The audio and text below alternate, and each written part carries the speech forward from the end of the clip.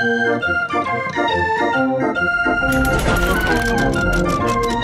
Welcome back to my channel. This is Love. I hope you are fine. The teaser trailer for The Monkey 2025, inspired by Stephen King's bone-chilling short story, begins with an unsettling quietness that instantly sets a haunting tone. The camera pans through a dimly lit attic where dust particles dance lazily in the beams of fading daylight. This space is filled with forgotten relics of the past, but one item stands out, a small, wind-up monkey with cymbals sitting eerily still in the As the camera closes in on the monkey, the air grows thick with tension. The details of the toy come into focus. Its once bright colors now faded, its formatted, and its eyes lifeless yet somehow full of manners. There's a sense of something deeply wrong about this ordinary looking toy, as if it holds a dark secret. A hand appears, hesitant yet compelled, and begins to wind the monkey. Each turn of the key sends a shiver down your spine, the sound growing louder and more foreboding. With the final twist, the